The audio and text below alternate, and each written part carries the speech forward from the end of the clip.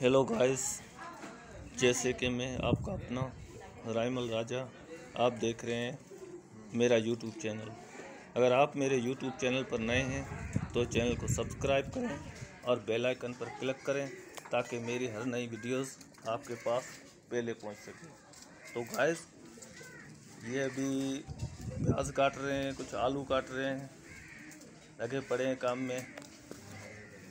अदरक भी है टमाटर अदरक और धनिया भी है लहसुन वगैरह टमाटर ये सारे कटाई हो रही है। छोटा सा प्रोग्राम रखा है तो उसकी वजह से आपको मैं नया एक वीडियो भेज रहा हूँ ताकि आप देखें और सब्सक्राइब करें। पीछे मूर्तियाँ लगी पड़ी है और ये काम में लगे पड़े हैं। देखिए गाइस ये अभी छोटा बच्चा है। जो भी आलू धो रहा है इस तरीके से धो रहा है ये भी आपको दिखाऊं आलू भी बच्चा दूध इस- रहा है इसका नाम सागर है तो अभी ये हम आलू शुरू है काम में પડી જાય એનું થઈ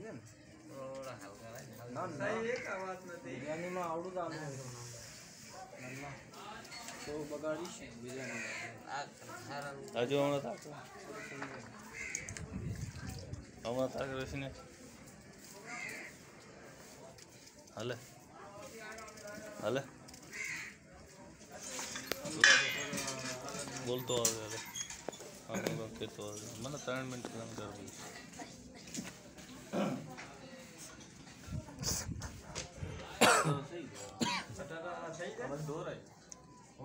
जैसे कि अभी ये छोटा सा प्रोग्राम रखा हुआ है।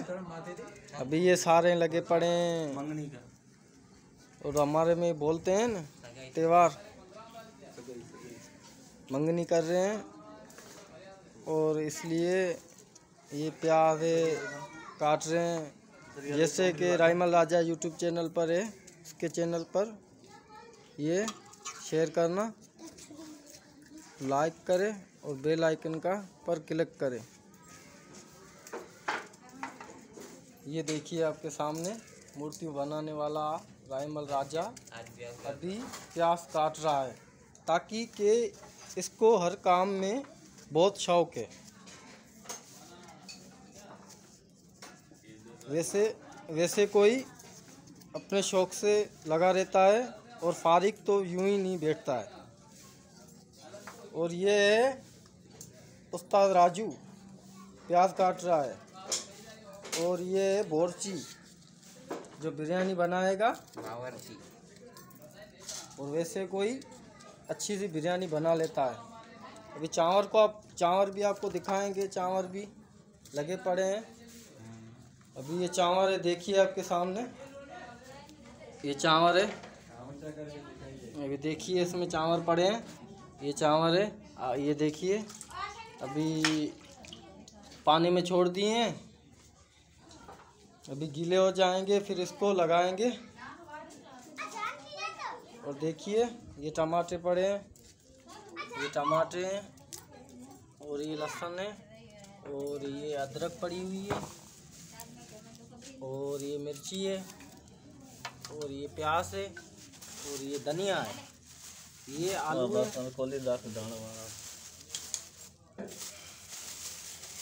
ये पुदीना भी पड़ा है देखिए आपके सामने।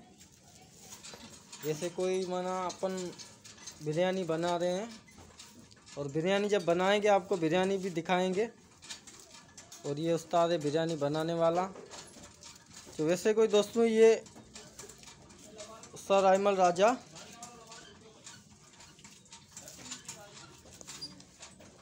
अभी आपको दिखाएँगे अगलो वीडियो में।